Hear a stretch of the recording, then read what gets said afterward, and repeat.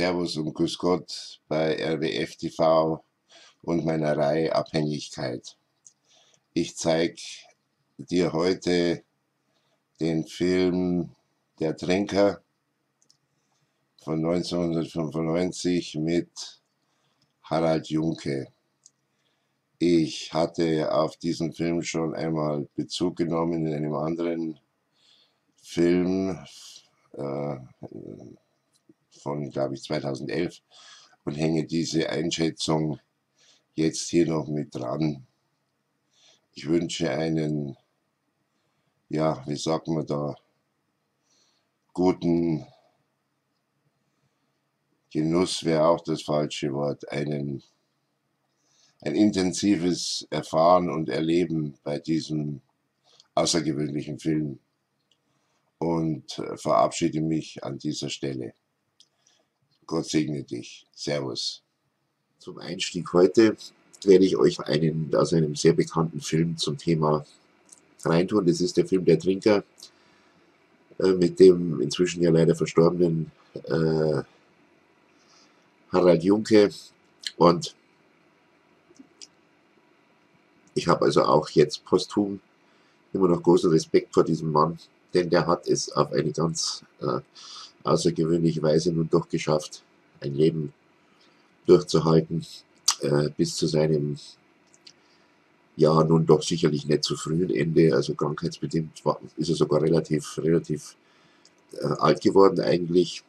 Und trotzdem habe ich Respekt, dass er diese in dieser Spange zwischen Öffentlichkeit, Eitelkeit, Einsamkeit, äh, Sucht äh, Abstinenz, Rückfall immer wieder auf die Beine gekommen ist. Ähm, aber das ist ein anderes Thema, auch zu dem ich mich jetzt ohne Bezug jetzt unbedingt auf den Harald Junke sicher noch äußern werde.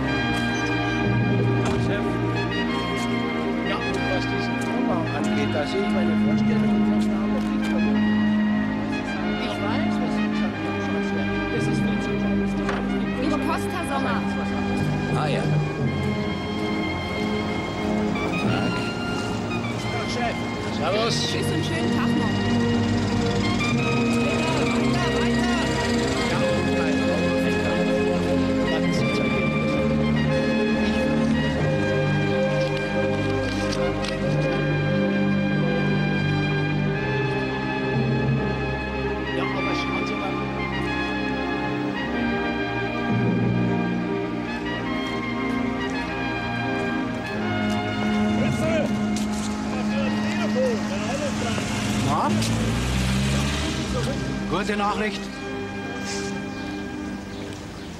Danke der Nachfrage.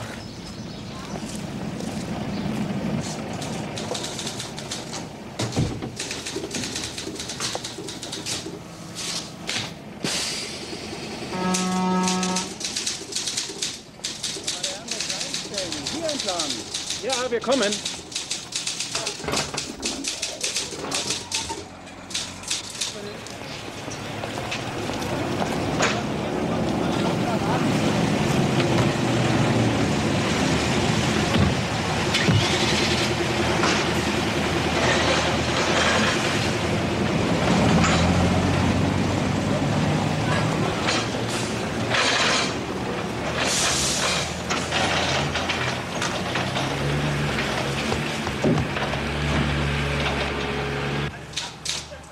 Was Aufregendes?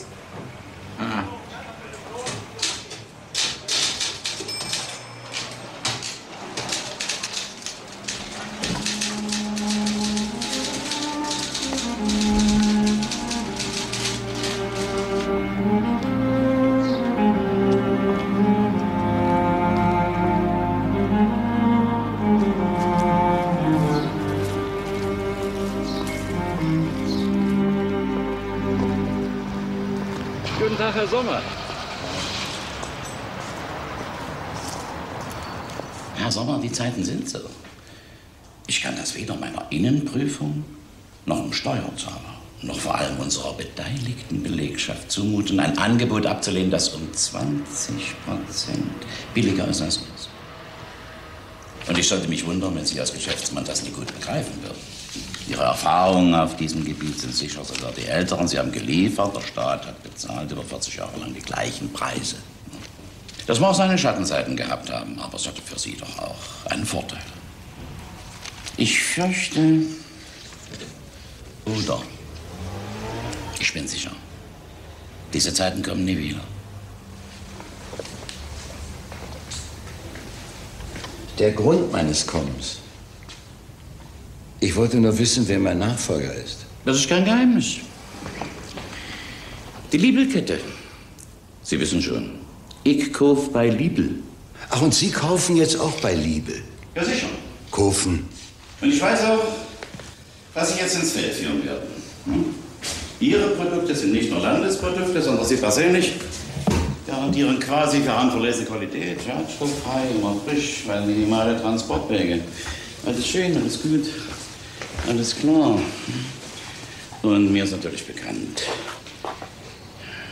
welchem Heldenmut Sie Ihren Familienbetrieb über die letzten 40 Jahre gerettet haben. Wenn auch sozusagen unter dem Deckmantel der GHG, aber was soll's, wir alle hatten ja unser Päckchen zu tragen. Alle Achtung.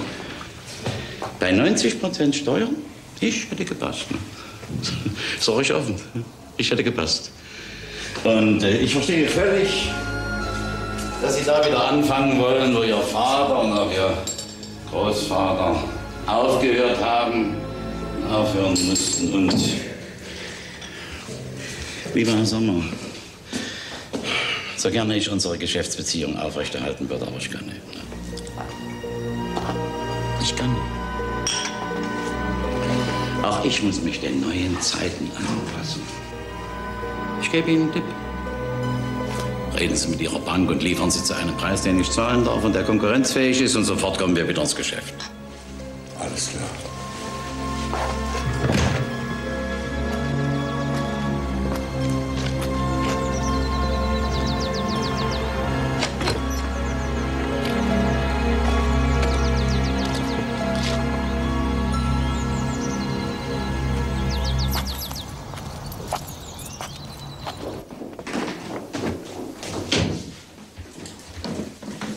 Warum liegt neuerdings kein Abtreter mehr vor der Tür?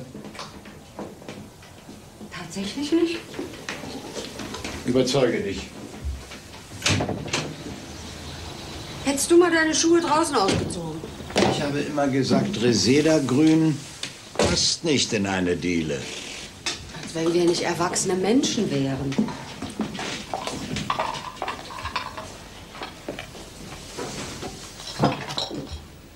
Ah, da ist sie ja.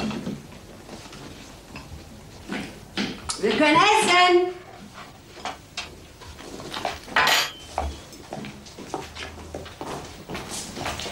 Außerdem beobachte ich seit drei Tagen das Spinnweben bei der Flurgarderobe.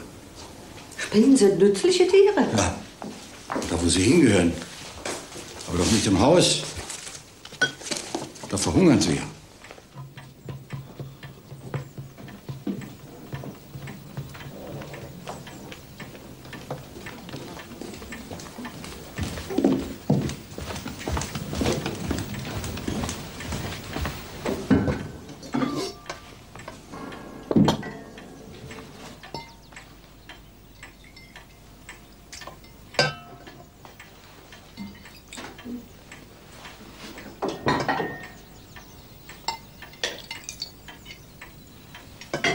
Danke.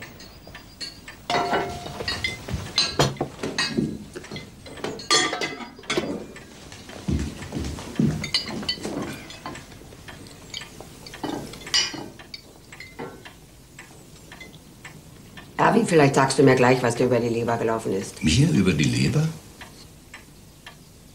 Nicht, dass ich wüsste.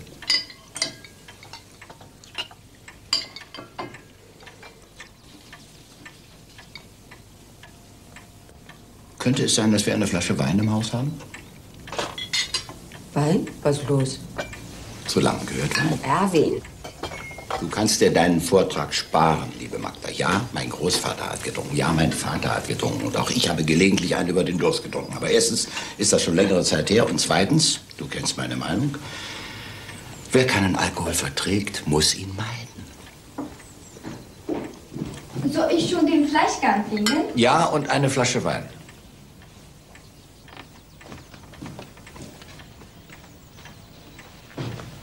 Du hast richtig gehört. Hast du einen besonderen Wunsch? Hast du einen dicken Auftrag erwischt?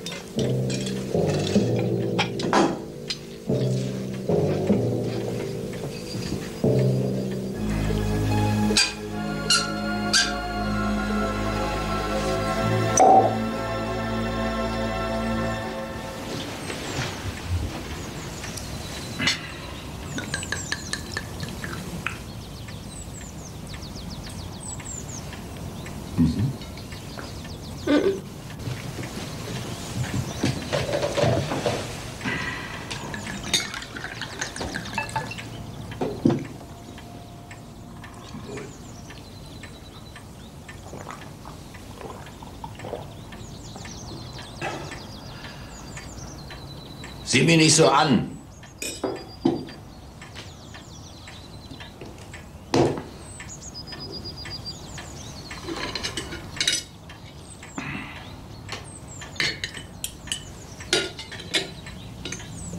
Ich hab jeden verstanden, der in der Zeit, die hinter uns liegt, gesoffen hat.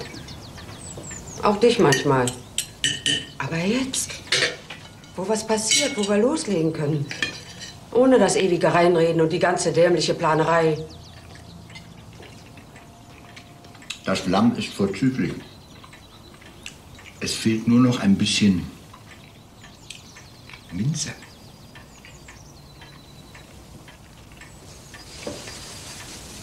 Schon gut.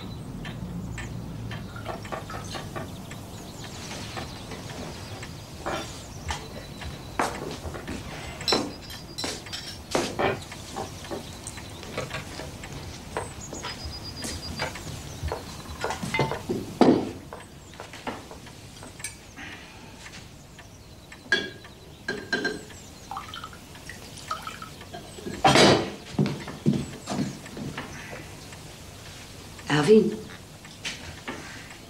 hast du Fieber? Was ist denn plötzlich? Du hast Fieber.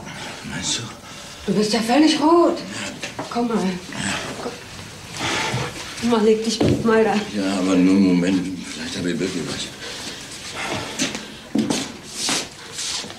Ich werde mal Dr. Mansfeld rufen. Lass Mansfeld aus dem Spiel. So weit kommt's noch. Erwin, was mit dem Geschäft ist, sag's mir lieber gleich. Ich finde, du musst es mir sogar sagen. Aber Unsinn, ich weiß gar nicht, was du willst. Ich habe ein bisschen Blutandrang. Soll ja das mit dem Geschäft zu tun haben? Das Geschäft geht prima, so prima wie noch nie. Dann schlaf jetzt. Weg mich in einer Viertelstunde. Ich muss noch, muss dringend noch mal rüber. Magda?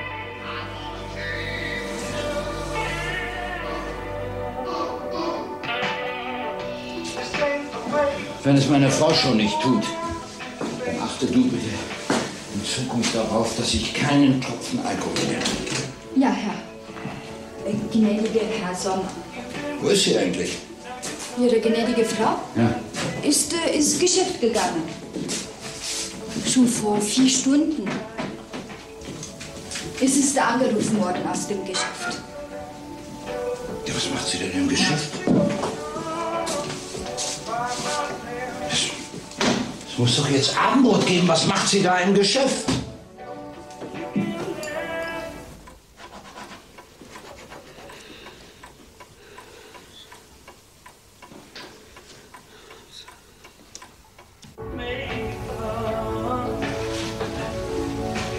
Ich mache Ihnen was.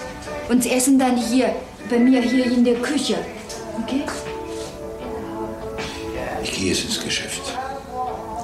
Sollte ich meine Frau verfehlen, sag ihr das bitte.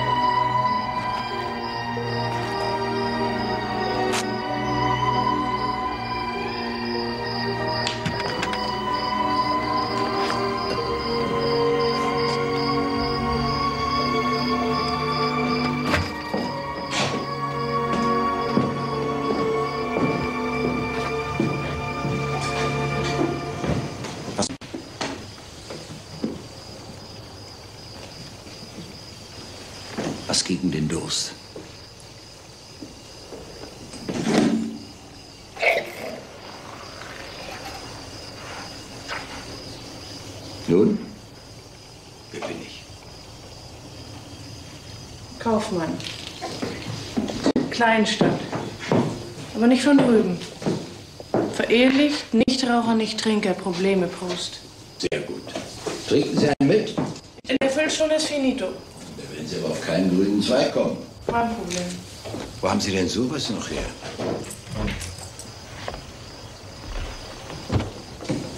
Sowas steht bei uns eben im Schrank.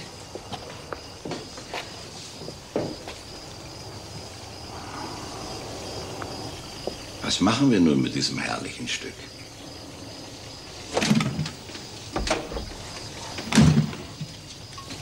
Fahren hier keine Züge mehr?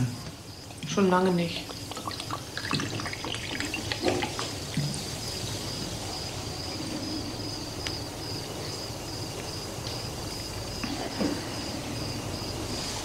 Ah ja. Hab ich was gesagt? Auf ein Bein kann keiner stehen.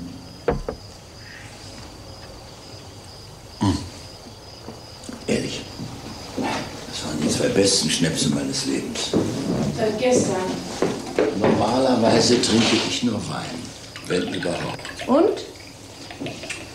Man könnte sich daran gewöhnen. Jetzt ist Schluss erstmal. Warum trinkst du nicht? Ich habe nicht gesagt, dass ich nicht trinke.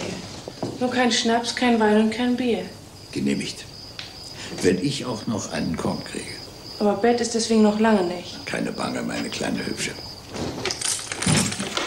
Machen Sie sich keine Hoffnung. Ist nur wegen Ladenschluss. Kontrolliert zwar keiner, aber die Konkurrenz.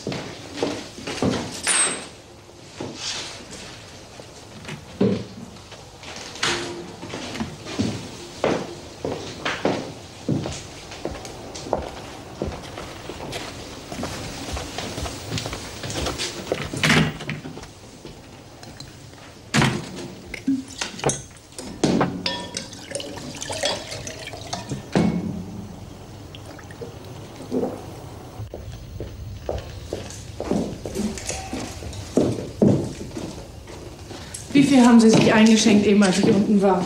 Fünf, sechs? Drei. Nur drei, meine kleine Hübsche. Auch gut.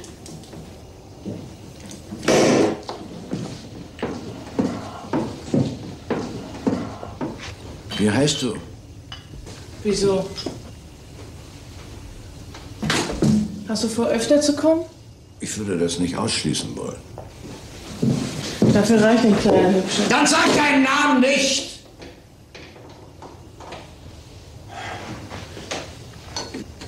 Entwickelst dich, mein Alterchen. Entschuldige. Ja, ich bin Kaufmann, oder war ich einer. Bis heute war ich einer, seit heute bin ich bankrott. Der erste Sommer, der bankrott geht. Sommer heiße ich, heißen wir.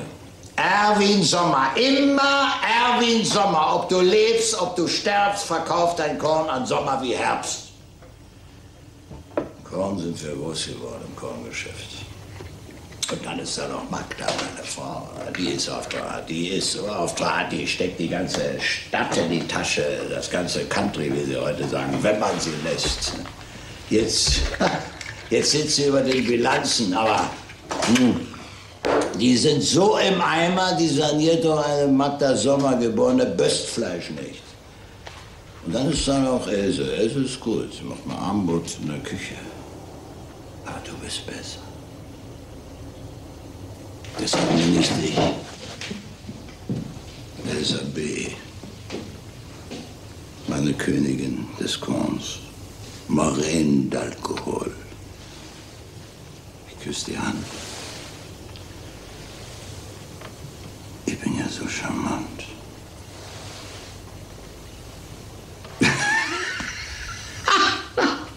Und wir beide.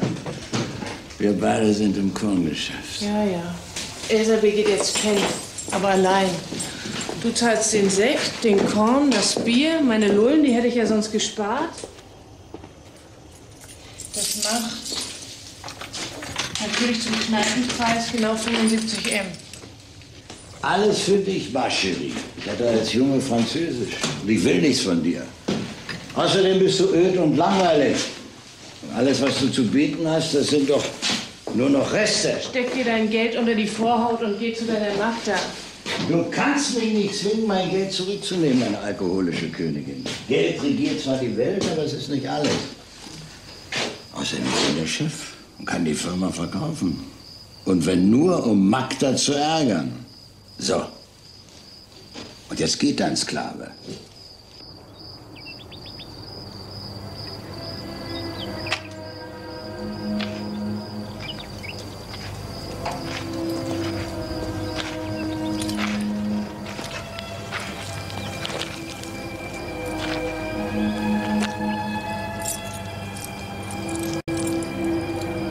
Oma muss nicht alles wissen. Zieh die Schuhe aus.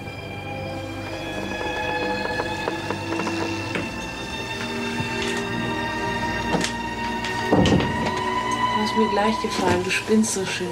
Wer kann das nicht?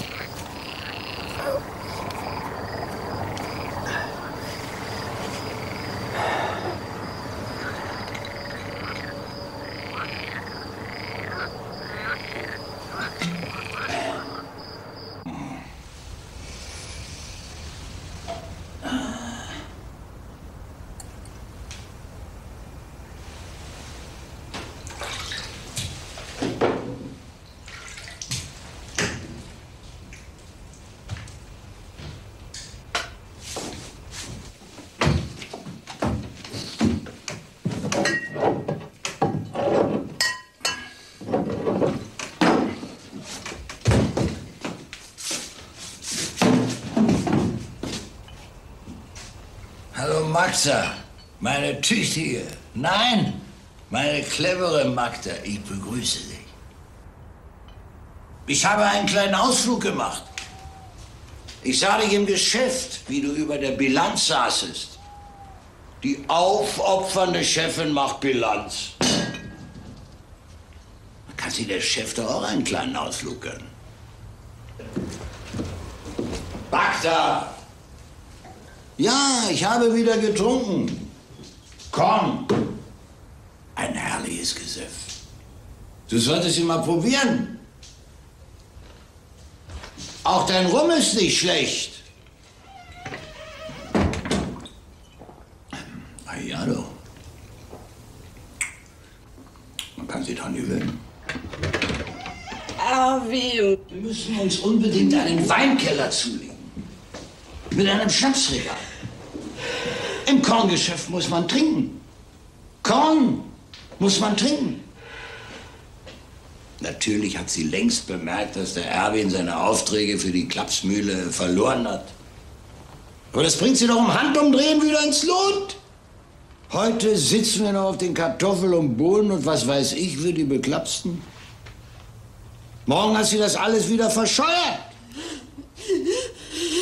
Und mit Gewinn.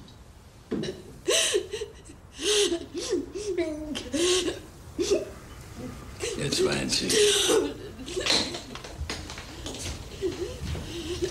Warum weint sie denn, die Magda? Weil der böse Erwin wieder etwas getrunken hat? Hm. Er hat doch viel mehr gemacht. Er hat eine Frau kennengelernt. Eine Frau. Eine Königin.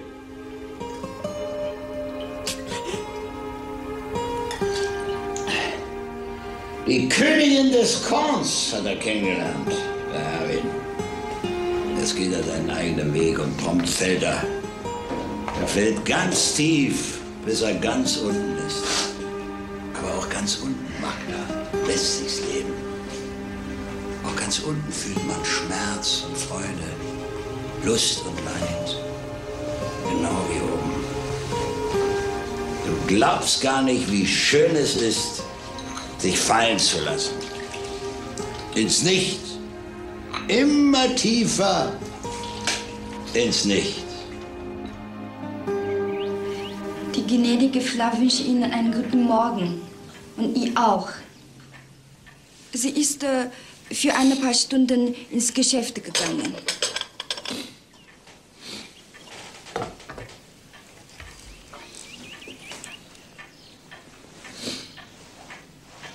Ich soll Ihnen sagen, Sie sollen bitte einen Bad nehmen und äh, sich ausruhen.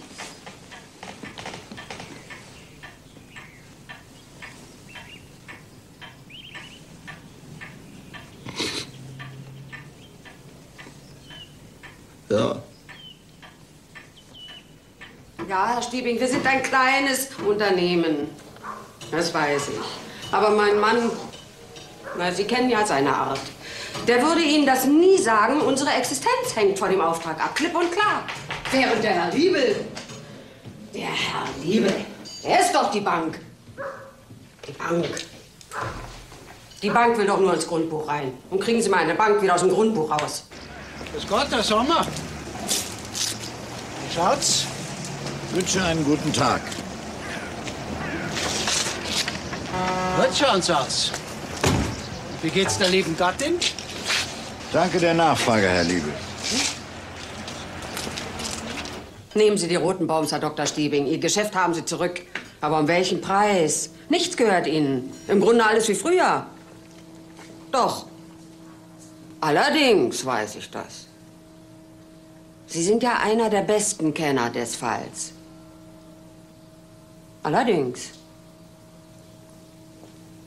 Sehen Sie, das meine ich. Daraus folgt, im Grunde gar nichts. Aber Eben. Naja, so ist das.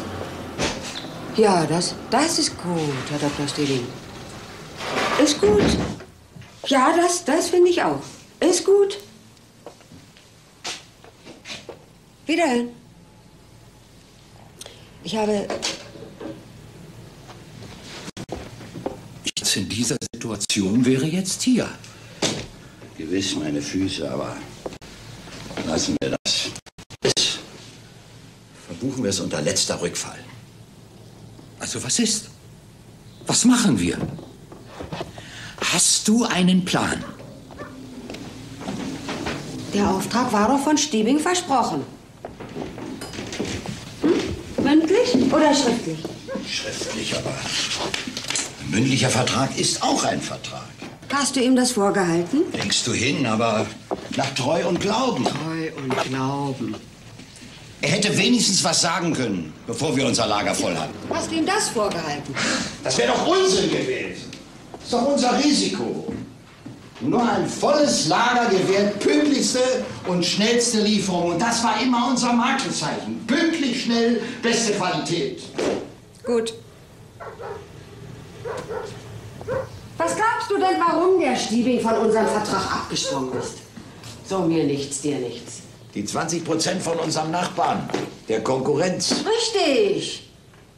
Aber nicht Preisnachlass, sondern 20 Prozent vom Ganzen in seine Tasche. Magda, das kannst du doch nie beweisen. Ich habe Stiebing angerufen. Er wollte nicht. Aber er musste. Jedenfalls die Kartoffeln. Und alles andere hält sich ja. Magda, ich. Jetzt hätte ich beinahe gesagt, ich gebe einen aus. Ja, aber warum musste er? Ich meine, was hat ihn denn dazu gezwungen? Nicht was? Wer? Der Mann war immerhin die letzten 30 Jahre auf seinem Posten. Das heißt auf seinen Nennen. Posten Chefarzt und Verwaltungschef. Na, kannst du dir vorstellen, dass ein Mann wie der 30 Jahre auf diesem Posten bei uns eine reine Weste hat? Hat er keine? Eine Andeutung von mir und er hat die Kartoffeln genommen. Kannst du dich an den Fall Rotenbaum erinnern? Wer weiß das noch? Ich und noch so mancher. Das ist der Vorteil in einer Kleinstadt.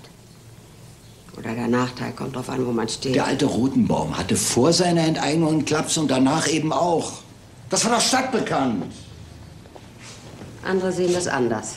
Mein Gott, was gewesen ist, ist gewesen. Und 200 Tonnen Kartoffeln verkauft sind 200 Tonnen Kartoffeln verkauft. Oder was hättest du gemacht?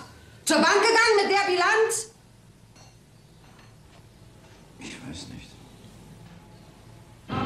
Also mal.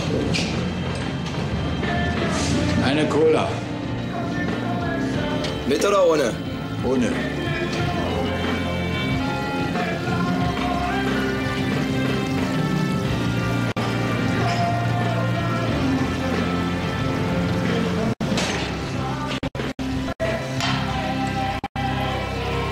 Na, bei der steifen Brise, Herr Sommer.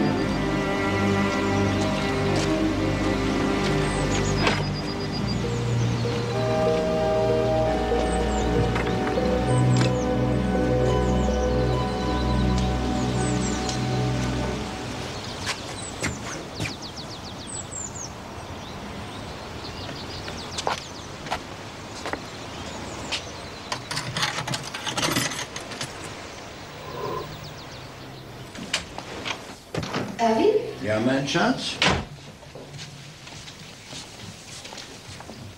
Ich komme umgehen.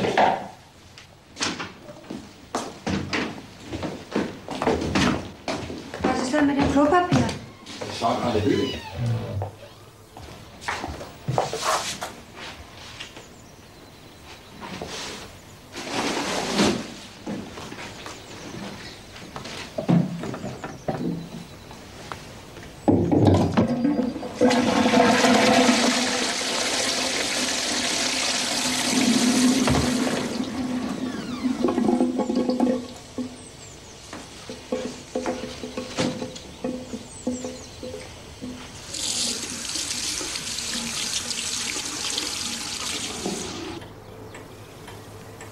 Erwin, Ja, es liegt dir doch viel daran, dass die Sache wieder in Ordnung kommt. Dass die Firma Sommer die neue, alte Firma Sommer mithält. Gerade jetzt, wo alles endlich ins Lot kommt. Wer das packt, der hätte dir doch einen großen Gefallen getan. Den größten meines Lebens. Und wenn derjenige dich um den größten Gefallen seines Lebens bitten würde, was würdest du da sagen? Für den würde ich alles tun. Auch wenn ich das wäre? Gerade wenn du das wärst. Wirklich? Und unwiderruflich? Wirklich und unwiderruflich. Ich trinke nie wieder. Kein Wein, kein Bier, kein Korn. Überhaupt keinen Schnaps. Das meintest du doch. Auf Treu und Glauben. Dann möchte ich das. Danke. Danke, Else, ich erledige das schon. Danke.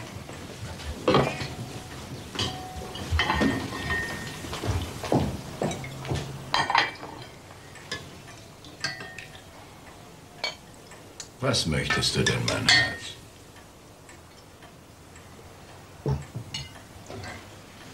Ich möchte, dass du zum Arzt gehst. Zu Dr. Mansfeld. Wieso möchtest du das? Weil du krank bist. Weil ich mal einen über den Durst getrunken habe, deswegen soll ich schon krank sein? Du willst mir also den Gefallen nicht tun, den du mir versprochen hast. Ich habe dir versprochen, nie wieder zu trinken. Das reicht ja wohl. Du hast versprochen, mit mir zum Arzt zu gehen. Ich habe dir keineswegs versprochen, zum Arzt zu gehen. Und mit dir schon gar nicht. Ich habe dir versprochen, nie wieder zu trinken. Erwin, deine Worte stehen noch in der Luft. Dann geh ohne mich. Ich gehe nicht mit dir, ich gehe nicht ohne dich und ich gehe schon gar nicht zu Dr. Mansfeld. Ich bin gesund. Du bist betrunken. Ich bin stocknüchtern. Wovon soll ich dann blau sein? Eukalyptus. Und Rum und Korn. Rum in der Fischerstraße bei Norbert und Korn am Bahnhof. Ach, du bist mir nachgelaufen. Hm, nicht nötig, das Telefon war schneller. Und? Na schön. Mir war eben so, also habe ich eben. Deswegen bin ich noch lange kein kranker Mann. Sieh mich nur an. Schwanke ich? Lalle ich?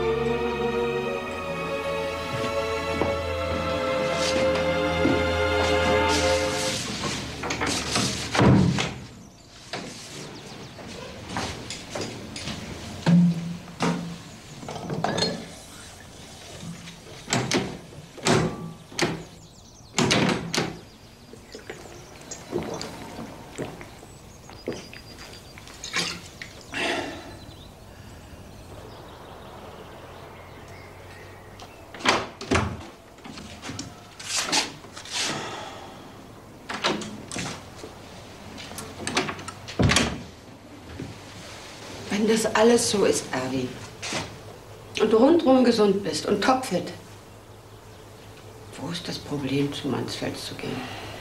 Sagt er dasselbe? Ist alles okay? Und wenn nicht?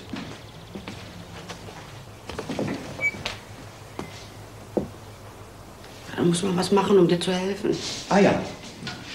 Und das bestimmst dann du. Nein, der Doktor. Ach, du warst ja schon beim Doktor.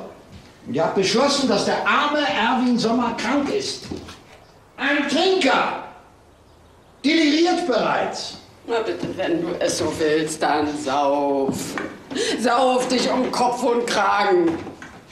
Sauf dich tot. Die Sommers haben ja immer gesoffen. Aber mich lass da raus. Mich ruinierst du nicht. Und das Geschäft auch nicht. Nicht solange ich lebe. Darauf habe ich gewartet. Hätte ich auf meinen Vater gehört. Heirate bloß nicht. Und wenn schon, dann keine jüngere Frau. Tja. Ich lebe länger als du. Dann kann ich dir ja meine Firma schon mal leihweise überlassen. Hüte sie gut. Aber das kannst du ja. Du hast ja deine Methoden. Bisschen Erpressung und so.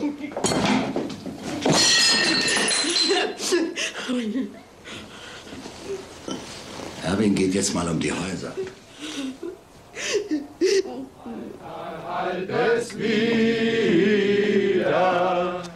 Der alten Baden Vaterland, dem Vaterland der Treue, der freies, unbezwungenes Land, wir weil wir uns aufs Neue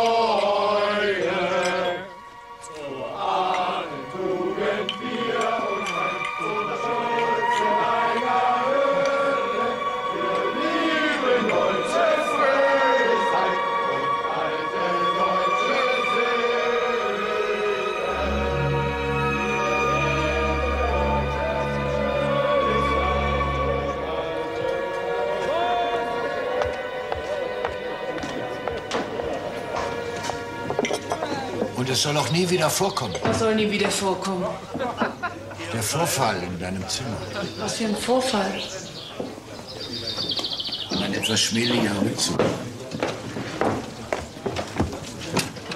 Das? Noch ein Bier bitte.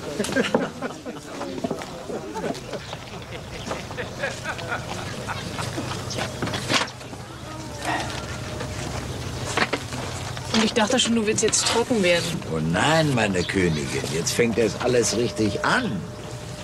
Korn? Vom Besten. Und für dich? Wieder Sekt? Oder Champagner? Echt? Echter Champagner.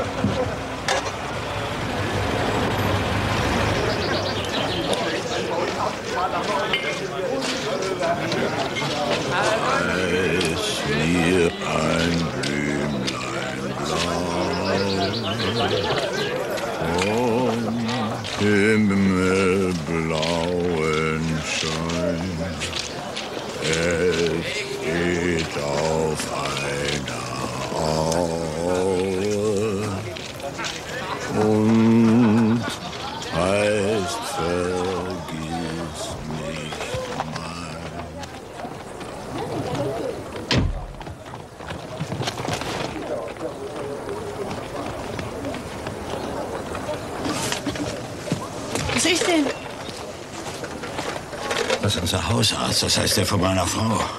Den hat mir meine Frau geschickt, damit er mich beobachtet. Verdammt schnell ist die verdammte Macke.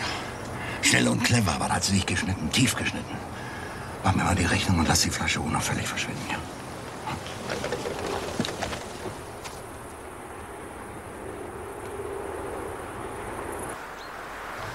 Voulez-vous coucher avec moi ce soir?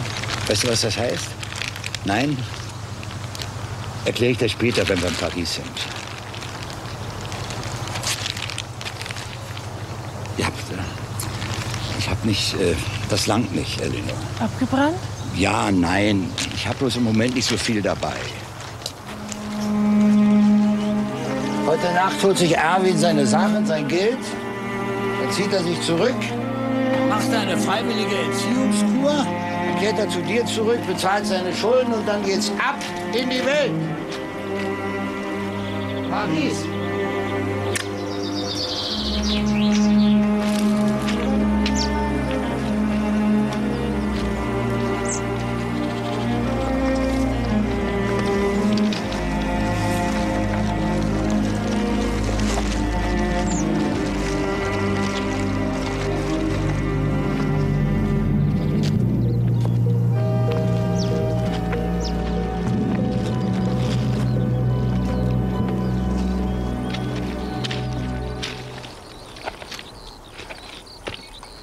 Habe ich Sie erschreckt? Nein, das wollte ich nicht, Herr Sommer. Im Gegenteil, ich wollte Sie fragen, ob Sie mit mir nach Hause fahren wollen. Weil, naja, Laufen ist vielleicht etwas kompliziert. Wir haben ein wenig gefeiert. Das ist doch kein Beinbruch, das Auto steht dort. Machen Sie es gnädig mit einem armen Berauschen. Aber ich bitte Sie. Mein Gott, das kann doch mal vorkommen. Geht mal schon vor. Machen Sie sich keine Sorgen, lieber verehrter Herr Sommer. Bringen Sie sicher nach Hause. Dann reden wir einfach ein paar Worte miteinander, ganz unter uns.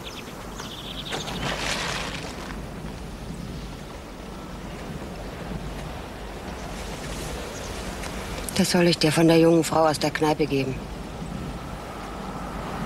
Du hättest sie letztens vergessen.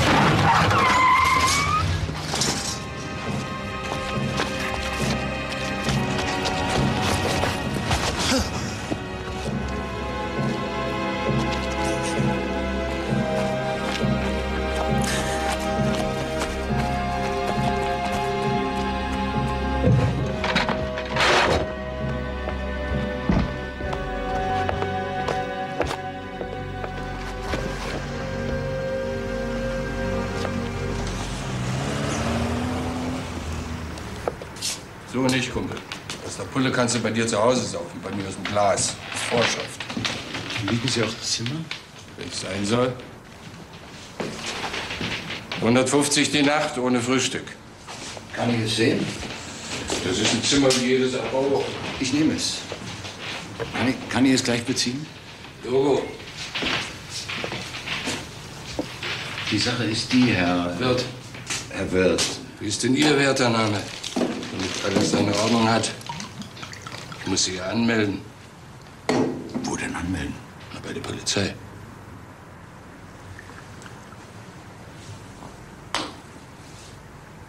Mein Name ist äh, Winter. Wie Sommer. Kann ich mir den Ausweis sehen? Sehen Sie, Herr Wirt, die Sache ist die. Ich habe mich von heute auf morgen entschlossen, eine längere Arbeit zu verfassen.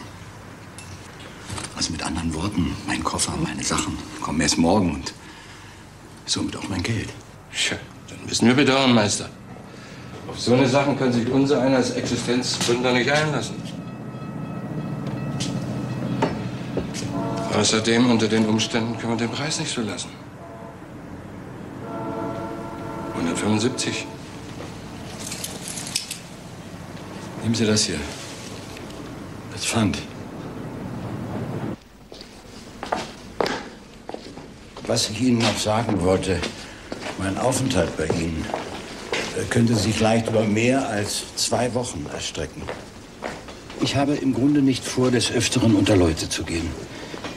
Daraus ergibt sich, dass ich auch von Ihnen verköstigt werden möchte. Null Problem. Verbilligt die Sache allerdings kein Stück. Morgen früh stehe ich in der Bank und hebe Geld ab. Und dann kriegen Sie das, was Ihnen zusteht. Und übrigens, um mich bei meiner Arbeit zu stimulieren, ziehe ich generell ein bestimmtes Getränk vor. Und das wäre den Korn, ja? ich glaube, wir verstehen uns. Ich würde es gern sehen, wenn in meinem Zimmer ohne weitere Ansagen meinerseits immer ein akzeptabler Vorrat zur Verfügung stände. Ja, auch kein Problem für uns. Wir würden denn sogar über einen gewissen Rabatt reden können. Vom Kneipenpreis, versteht sich. Ich sehe, Sie verstehen Ihr Geschäft. Danach vielleicht etwas zu gut. Aber sei es drum, also heute zwei Flaschen und so auch morgen. Ja, ist doch klar, Winter wie Sommer. Ich will sehen, was ich machen kann. Testen Sie mal das Bett. Die reine Sahne. Wird doch gleich gezogen. Da wäre noch etwas, Herr Wirt. Ist es unumgänglich notwendig, dass Sie meine Anreise und meinen Aufenthalt äh, der Polizei melden müssen. Ja, unter uns ja. Tun wir das nicht, steigt unser Risiko auf ein kaum zu vertretendes Maß. Das kann für Sie die Sache wiederum nicht verbilligen. Wenn ich die Zeiten richtig verstehen tue. Da haben Sie was missverstanden. Ein gewisses Risiko muss ein Geschäftsmann seit jeher tragen. Und es versteht sich, dass er das nicht an seine Kunden weitergeben darf. Würden Sie mir bitte dieses Glas geben?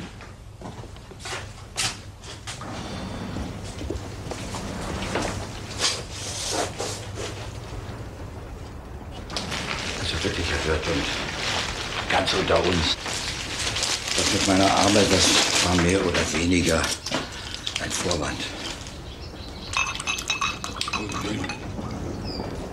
Auf Ihr, auf Ihr Spezielles. Naja, eigentlich ja nicht.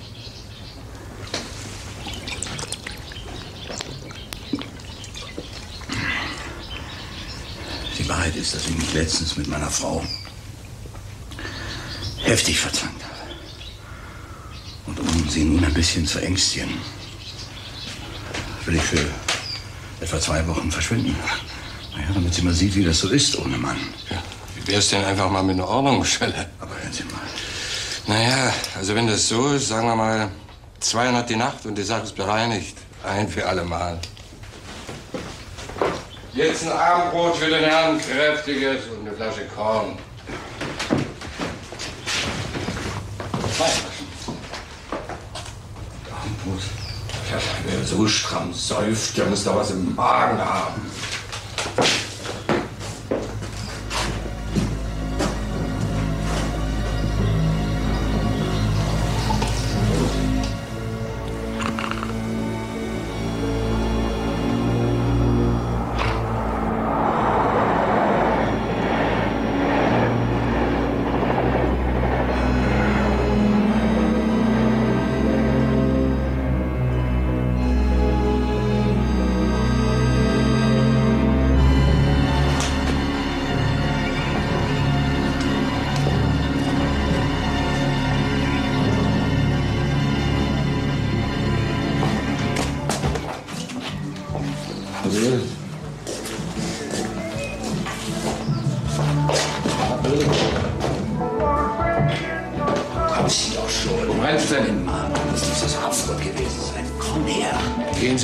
Sie wieder auf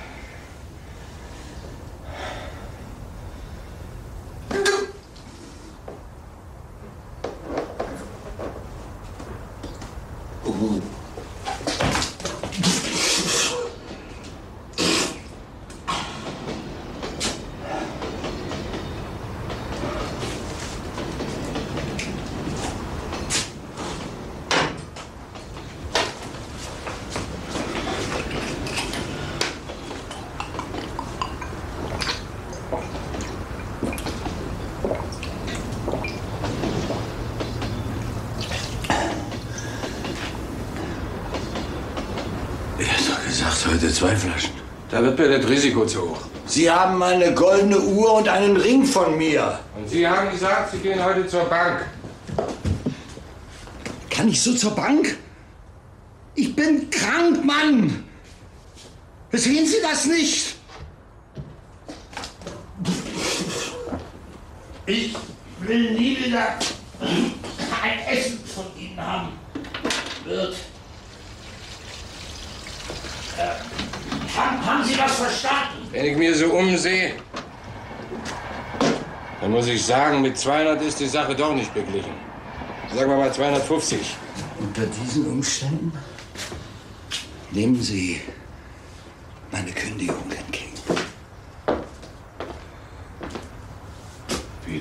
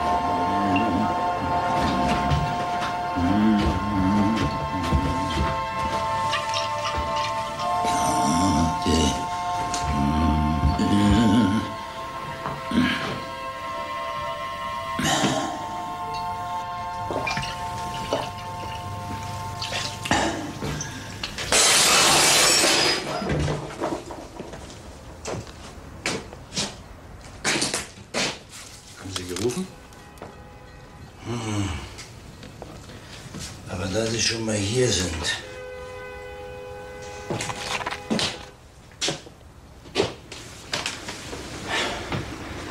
Wie wär's mit Nachschub?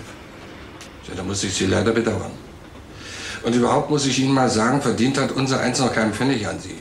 Und können Sie sich vorstellen, was unser Eins für eine Miete zahlt für die Bruchbude hier? Bruchbude, das, ist das erste wahre Wort, was ich von Ihnen gehört habe. Sehen Sie das, wie Sie wollen. Jedenfalls wird die nächste Nacht die letzte bei mir. Und wenn nicht?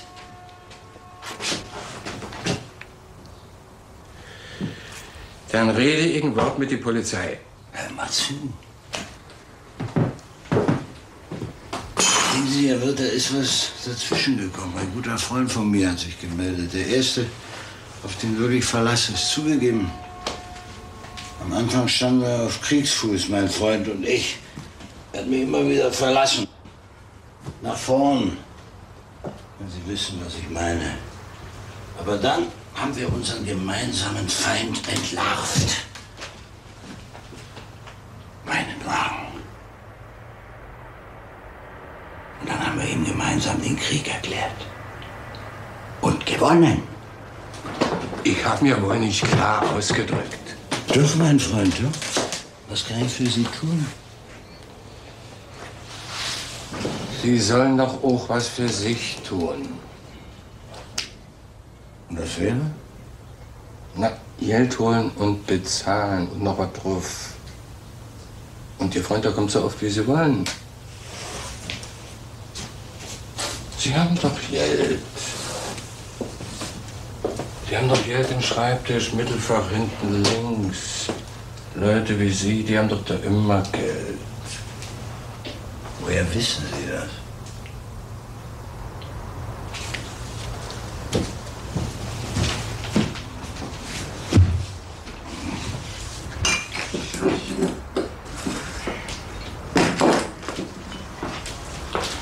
Warten Sie, bis es dunkel wird, dann gehen Sie los. In einer halben Stunde sind Sie wieder da. Und auf Sie warten hier so viel Tullen, wie Sie wollen. Wenn Sie sonst noch ein paar Wertsachen haben, würde ich an Ihrer Stelle nicht achtlos dran vorbeigehen. Abgemacht, aber ich, ich brauche Stärkung jetzt. Nee, nee, nee, nee, nee, nee, so nicht, Herr Winter. Mein Risiko ist eh schon himmelhoch. Wer sagt mir denn, dass Sie wiederkommen? Hier, nehmen Sie die. Nur so zur Sicherheit. Sind Sie doch nicht so schreckhaft. Ist nur eine Schreckwumme.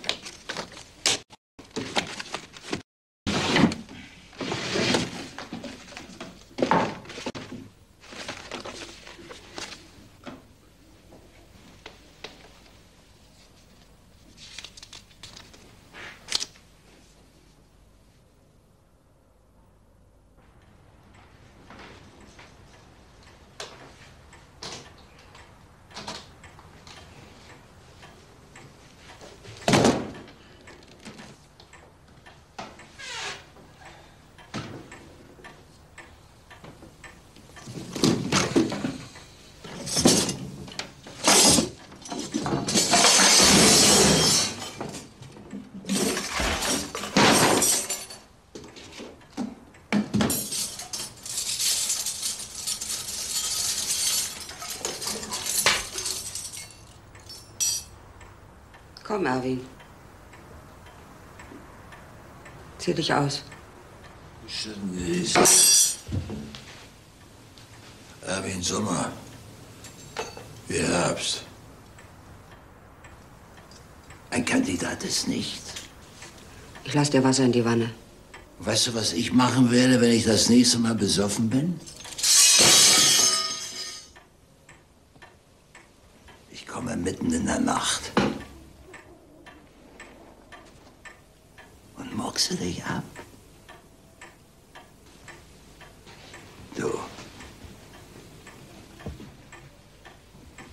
Mach's. Im Knast. Und das ist wahrscheinlich das Beste.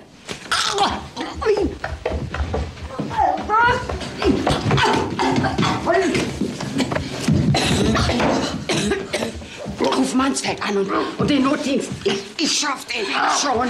Hilfe! Hilfe! Hilfe! So schnell kriegst du mich nicht, meine Magda. Kommen Sie bitte. Jetzt, Herr Sommer wird seine Frau ermorden. Komm. Hier. Komm. Ja, kommen Sie.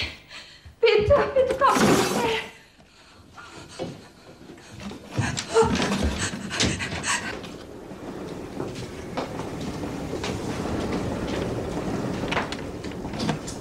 Was soll das? Haben Sie die Frau gekillt? Das Silber bin ich auch zugekommen. Ich habe genug Geld, um Sie zu bezahlen. Aber Sie haben geschossen. Mit einer Schreckschusspistole.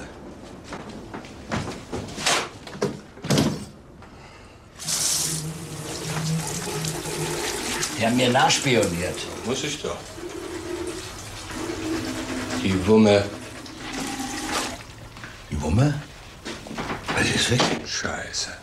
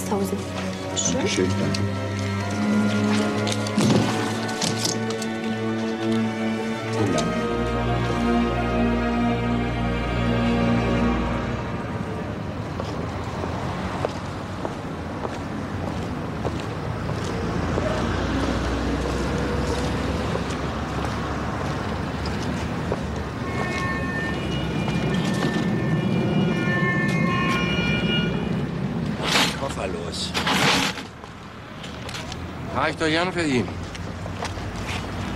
Zur Bahn, richtig? Hau ab! Ruhig, immer ruhig. Bloß kein Aufriss. Seit heute Nacht sind Sie in der Fahndung. Wo soll die Reise denn hingehen? Das geht dich dieses und jenes an. Den Koffer und wir sind quitt. Kommt alles ins Los. Na ja. Hier, was hast du dazu?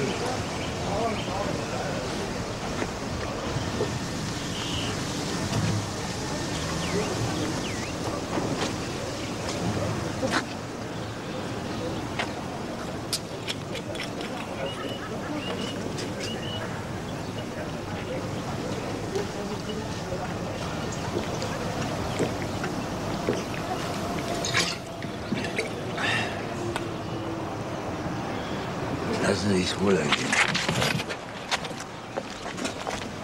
Was denn nur? Nicht? Na, nur eine Bitte. Ich hätte noch meinen Laden, die Kneipe. Das ist eine wahre Goldgrube. Die braucht bloß eine gewisse Aufmöbelung, damit es richtig losgeht. Und dafür brauchte ich einen Kredit. Und den dachte ich, könnten Sie mir geben für all die Dienste, die ich für Sie hier leistet habe.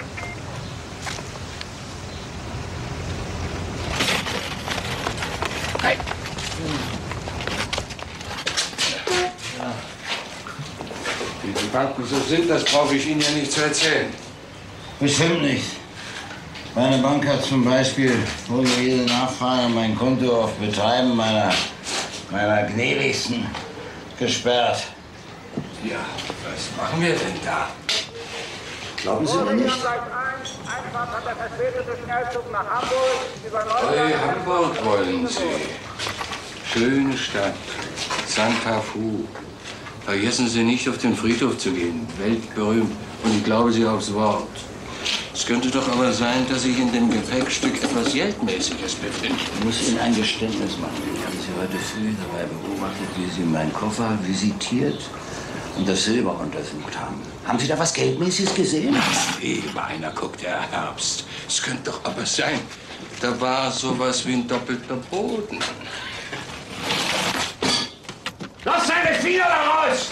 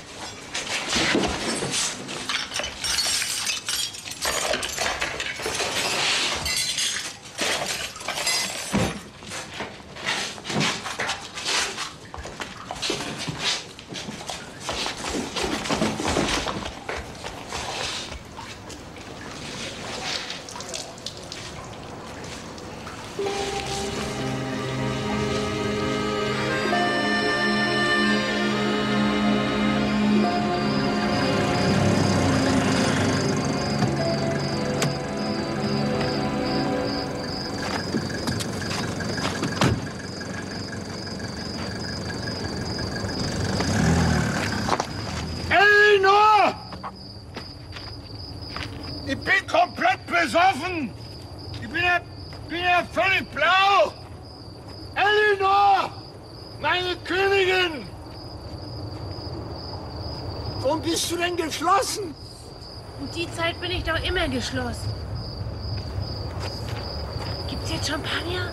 Champagner in Strömen. Ich hab ja, ich hab ja Geld wie Heu. Morgen sind wir in Paris. Voulez-vous, voulez-vous coucher avec moi? Es ist wahr. Weißt du noch immer nicht, was das heißt? Gib mir, gib mir einen Kuss.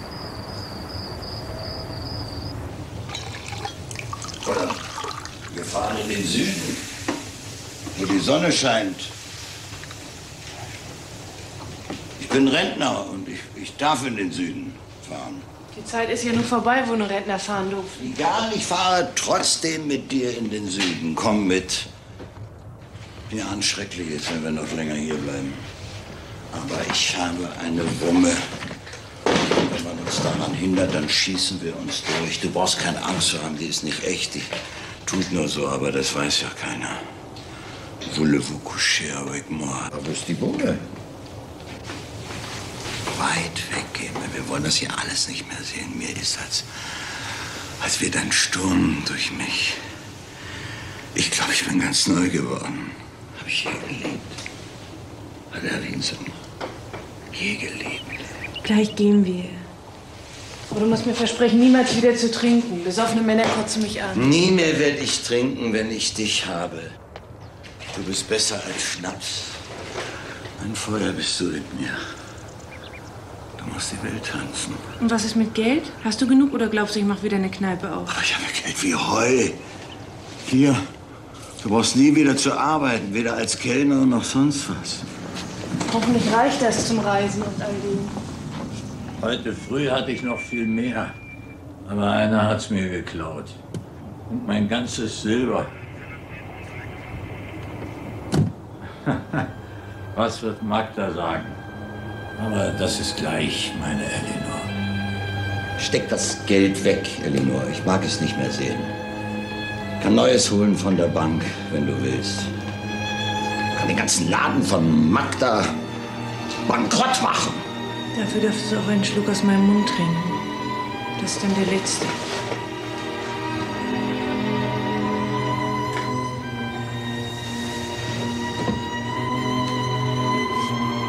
Sind Sie Erwin Sommer, Wohnhaft Torstraße 5? Ja. Ich bin Erwin Sommer.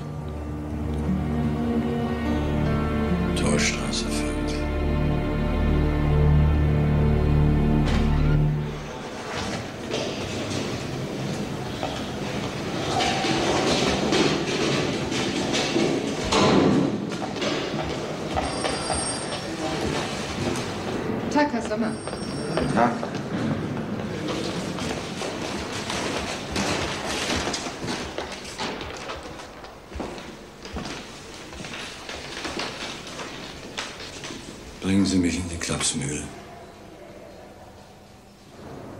Machen Sie mich wieder gesund. Das habe ich letztens versucht. Aber jetzt muss das der Staatsanwalt entscheiden. Guten Tag, Herr Sommer. Bitte setzen Sie sich doch. Danke, Herr Staatsanwalt. Vielen Dank, meine Herren. Herr Doktor, ich, ich habe sehr starken Durst. Sie wissen, was ich meine. Ich kann.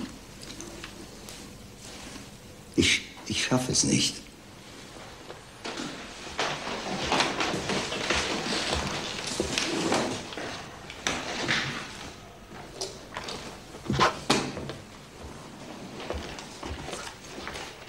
Wir haben hier den Ihnen ja auch bekannten Rechtsanwalt Dr. Husten gerufen. Wenn Sie ihm eine Vollmacht unterschreiben, ist es der Anwalt Ihres Vertrauens. Er kann für Sie sprechen und Sie beraten. Sie sind über Ihre Rechte informiert? Ja. Nun zur Sache, Herr Sommer. Kennen Sie diese Pistole? Ja. Seit wann war sie in Ihrem Besitz? Seit Dienstag. Irgendwann in der Nacht. Wie ist sie da in Ihren Besitz gekommen? Wollen Sie diese Frage beantworten? Es läuft auf unerlaubten Waffenbesitz hinaus. Ich habe sie von einem Mann namens Wirth.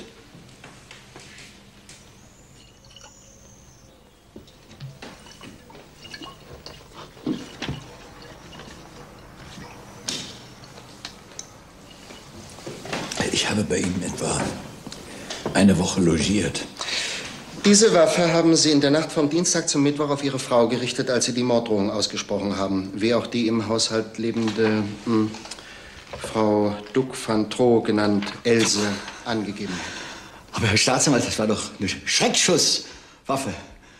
Ich wollte verdammt nicht meine Frau ermorden. Ich wollte sie überhaupt nicht ermorden. Ich wollte sie erschrecken und das auch nur, weil ich trunken war und nicht mehr genau wusste, was ich tat. Ich wollte, ich wollte einfach weg, ganz schnell weg. Wie viel haben Sie denn dem Wirt für diese Schreckschusspistole gegeben? Nichts. Nicht ein Pfennig. Er hat sie mir einfach aufgedrängt. Und überhaupt stand die Idee, in mein Haus einzubrechen. Von ihm. Er wollte. Ein Mann kann nicht in sein eigenes Haus einbrechen.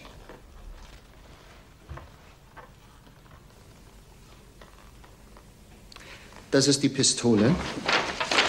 Und das hier ist das daraus abgeschossene Projektil.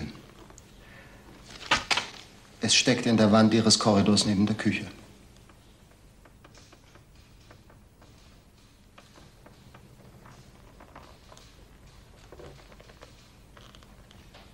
Mein Gott. Ich hätte. Ich hätte sie ja treffen können.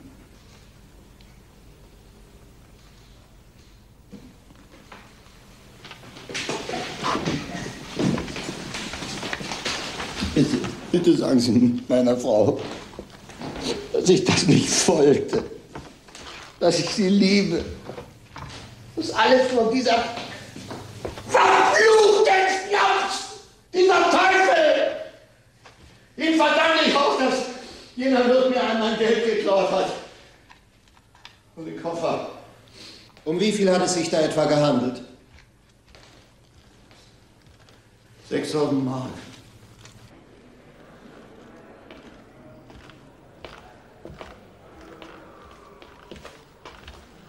Hat dieser Mann tatsächlich das ganze Geld?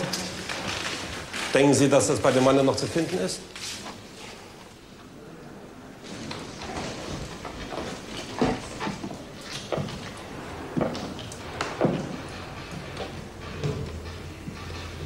Was ist rausgekommen? Die bessere Variante. Na da. Ich habe das für eine Schreckwaffe gehalten. Ich, ich wollte dich doch nicht töten. Tja, Erwin. Das ist ja nur alles vorbei. Hier sind Sachen für dich. Danke, Magda. Ich dachte schon, du wolltest weg. Kann doch die Firma nicht allein lassen. Natürlich. Ich habe übrigens, wie schon gesagt, diesen Herrn Wirt vorladen lassen. Bestätigt der Mann Herrn Sommers Aussage und nehme Frau Sommer dann eventuell ihre Anzeige wegen versuchten Mordes zurück, würde ich von einer Anklage absehen. Auch in der Voraussicht, dass sich Herr Sommer freiwillig einer Entziehungskur unterziehen wird. Dass er das auch tatsächlich tut, müsste allerdings gesichert Ich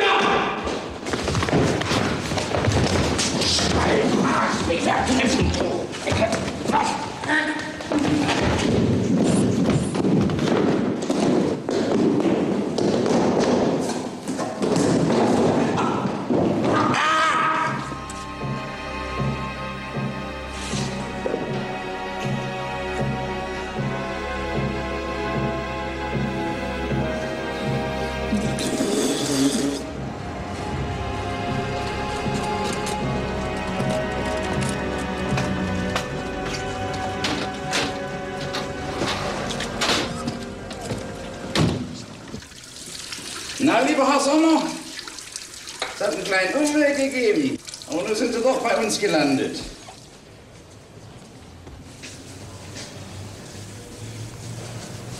Sind Komplikationen eingetreten?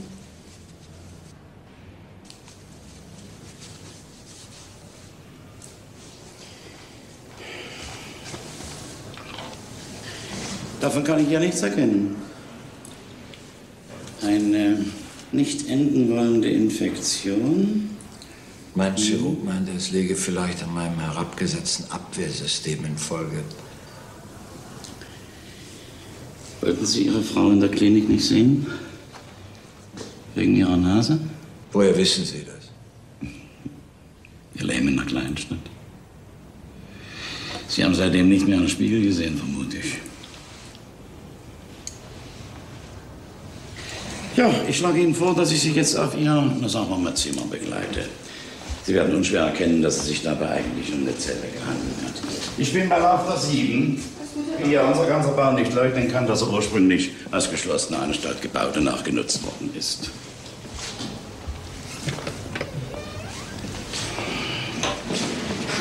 Also wenn man bedenkt, dass Sie ja vor gar nicht allzu langer Zeit noch zusammengesessen und friedlich verhandelt haben, also mehr oder weniger.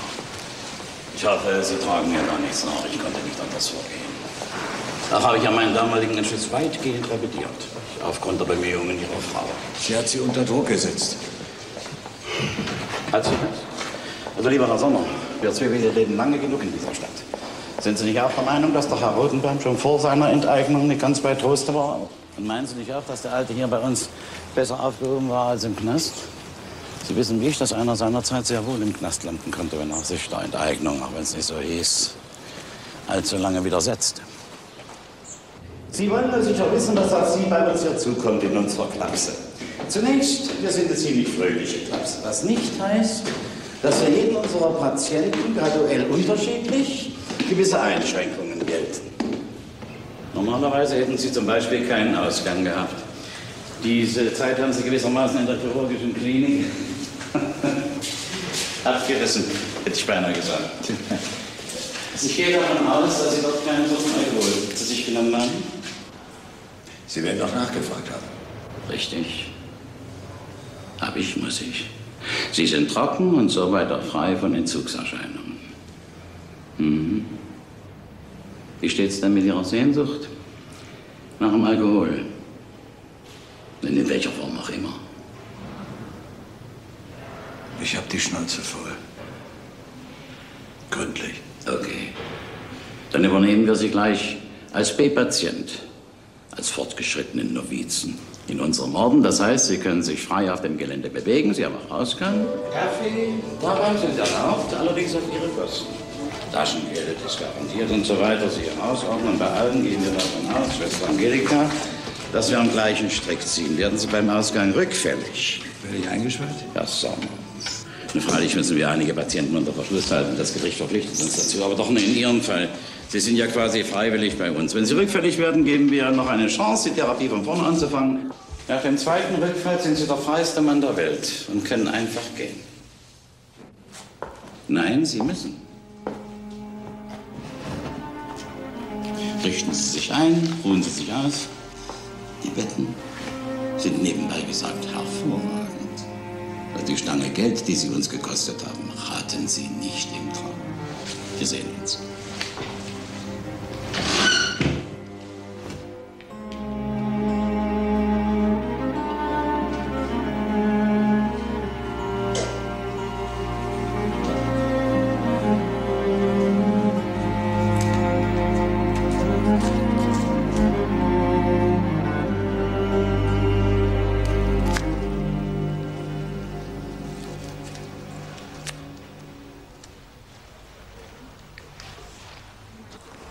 Bist also der Mann, dem sie die Nase abgebissen haben. Weswegen bist du hier? Außer Suff. Ich habe meine Dame erschossen. Beinahe. Unter Alkohol natürlich. Und Sie? Wir Patienten duzen uns hier. Und noch? Was hast du noch gemacht? Raus damit. Das ist hier Gesetz, hat der Alte dir das nicht gesagt? Du musst dich zu deiner Schuld und zu deinem Suff bekennen. Ohne das wird's nicht. Ich bin Geschäftsmann. Ich habe mein Geschäft ruiniert. Ja, pst, nicht so laut. Jeder muss das nicht hören. Die horchen uns hier schon genug aus. Ich habe meine Tochter. Sehen Sie sich das Das an. Ganze ist eine Tarneinrichtung für Kommunisten, die was auf dem Kapos haben. Aber ein Wort zu viel und du sitzt fest. Auf immer. Pass auf deine Dame auf. Ja, aber ist doch alles freiwillig hier. Ich kann doch jederzeit raus. Wieder so ein armer Irrer mehr, der das glaubt. Versuch's mal. Alles elektronisch überwacht. Ein Schritt vor der Tür und es klingelt beim Alten. Und im ganzen Haus. Und Lampen gehen an. Und Ausgang? Das ist doch ihr großer Trick. Die Wörter sind ihre Spitze. Beim zweiten Mal kommst du nicht wieder rein hier. Und kippst weg draußen. Die du von der durchkommst, A4. Weil wir uns fertig gemacht haben mit ihrem Kommunismus. Sind schlaue Hunde, die Kommunisten. Waren sie schon immer. Erst haben sie uns eingebuchtet und im Westen verkauft. Und jetzt machen sie es so rum. Tja. Matt. Wie heißt du? Sommer. So gut. Ich Winter. Ah. Schaffen wir zusammen. Natürlich nicht wirklich. Aber wir sind hier ja alle pseudonym. Aber es gibt einen Weg, um rauszukommen.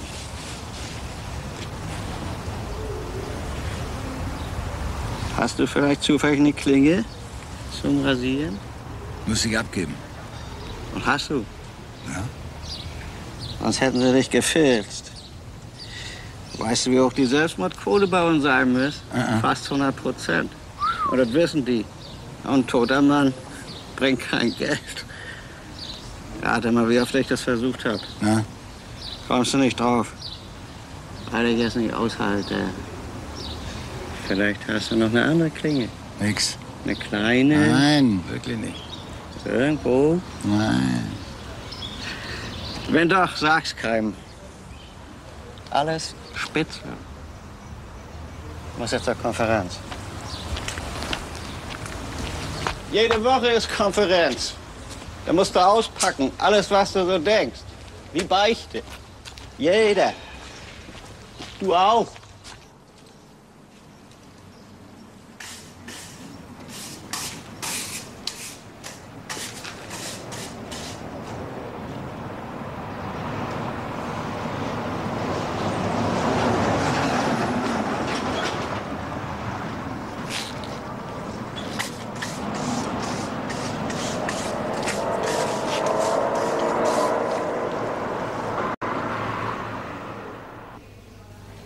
Was haben Sie eigentlich gegen Spinnen? Nichts. Warum wollen Sie ihr dann einen Graben? Ich habe ihr was zu spinnen gegeben. Hier drin gibt's ja keine Fliegen. Nur draußen. Ich habe sie Magda genannt. Gut. Danke der Nachfrage, ja. Dank Ihrer vorzüglichen Therapie, Herr Doktor. Sie beantragen den Ausgang. Angst vorm Kneipen? Ich habe keine Zeit. Man wird hier immer zu beschäftigt. Nein, nein, nein, nein, nein. Keiner zwingt Sie doch zu. Gehen Sie mal in unsere schönen Wälder, da gibt's keine Kneipen. Oder sagen wir noch nicht. Und wenn doch, da fahren Sie Rad, da sind Sie schneller vorbei. Sie können doch Rad. Keines. Muss doch meine Rolle lernen. Sagt im Theater spielen hat Sie niemand gezwungen. Was dann schreibe ich ein Buch? Sie machen was? Über mich. Über Magda. Über alle. Ähm, Sommer. Ähm, Entschuldigung. Ja, Sommer. Sie sind einfach das, was ich Musterpatienten. Auf eine Weile erhalten, hätte ich mal gesagt. Darf ich mal sehen?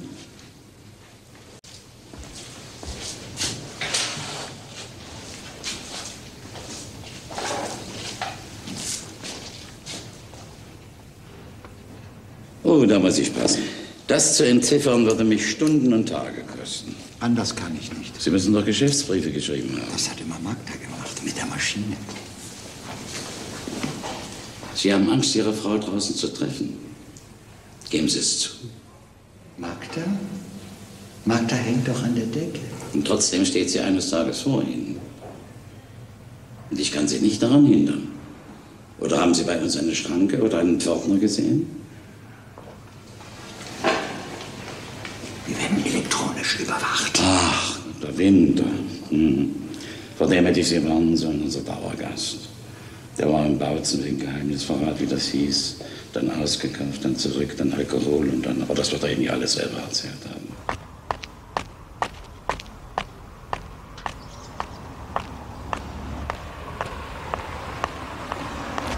Elinor! Meine Königin! Ja, ich bin's! Erwin! Erwin Sommer! Ich weiß, Herr Sommer. Elinor, sei doch vernünftig. Ich habe dir alles verziehen. Auch das mit dem Geld. Wird ja bald entlassen. Machen wir alles das, was wir uns vorgenommen haben. Paris, voulez-vous coucher avec moi? Hast du das vergessen? Nein, Herr Sommer. Verstehe. Kann ich sonst noch was für Sie tun? Wart auf mich.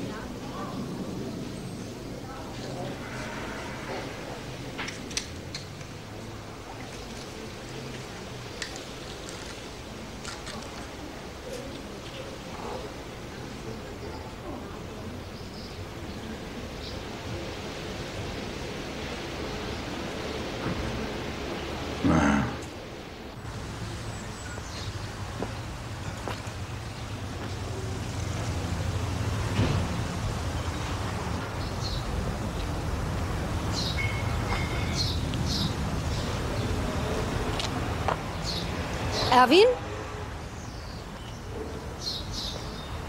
Ich muss jetzt gleich zur Probe, entschuldige. Du musst dich doch nicht entschuldigen. Wenn du zur Probe musst, musst du zur Probe. So ist das eben. Was hast du denn für eine Rolle? Das ist bloß der Glöckner. Der Glöckner von Notre Dame. Ach ja. Das hat mir sehr wehgetan, dass ich dich im Krankenhaus nicht besuchen durfte. Ja, glaubst du, ich hätte dich rauswerfen lassen, wenn du gekommen wärst?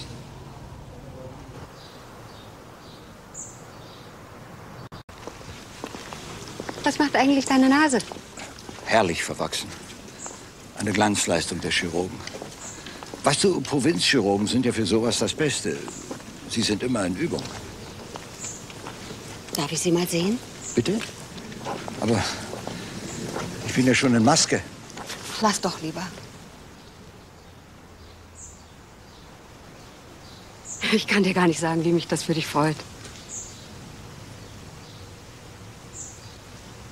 Überhaupt bist du gut drauf. Viel besser, als ich dachte.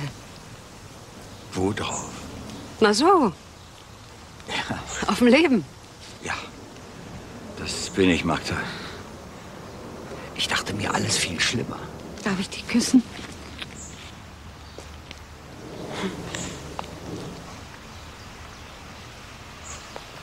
Und wie geht das Geschäft? Es geht einfach so gut wie nie. Geradezu ein Aufschwung. Von heute auf morgen. Ich habe gewusst, dass du den Laden wieder in Schwung bringst. Ach, Erwin. Und deswegen habe ich mich entschlossen, dir das Geschäft gänzlich zu überschreiben. Erwin. Erwin.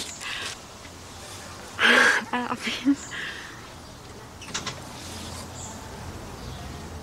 Ach, da ist Rudi Winter. Rudi!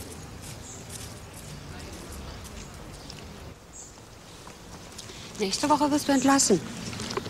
Was willst du dann machen? Oder hätte ich das jetzt nicht verraten dürfen? Hat er das gesagt? Dr. Stieming?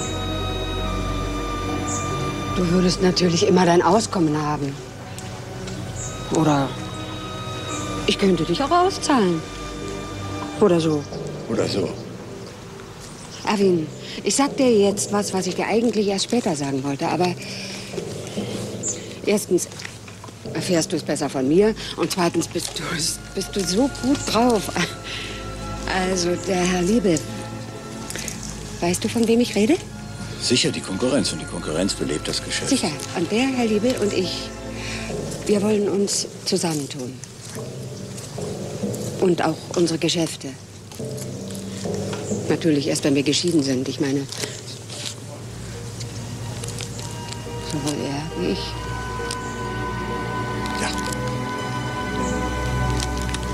Natürlich.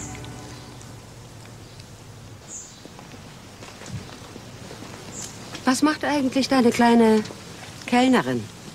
Elinor? Ich sehe sie oft. Du siehst sie oft? Oft. Ach, das freut mich aber für dich. Du kannst dir gar nicht vorstellen, wie mich das freut. Ihr könntet ja dann die Villa ganz für euch haben. Stell dir vor, der Herr Liebel, der hat selbst ein Haus. In Bayern. Else kann sich ja um mich kümmern. Die Else haben wir nicht mehr. Die musste wieder nach Hause zurück, nach Vietnam. Du weißt ja. Ah ja? Ihr könnt euch doch eine neue Hilfe nehmen. Wollen wir es so machen? So wollen wir es machen, Magda. Genau wie du sagst. Etwas ganz Neues. Wa- Machen wir es kurz, Erwin. Ich darf doch Erwin sagen.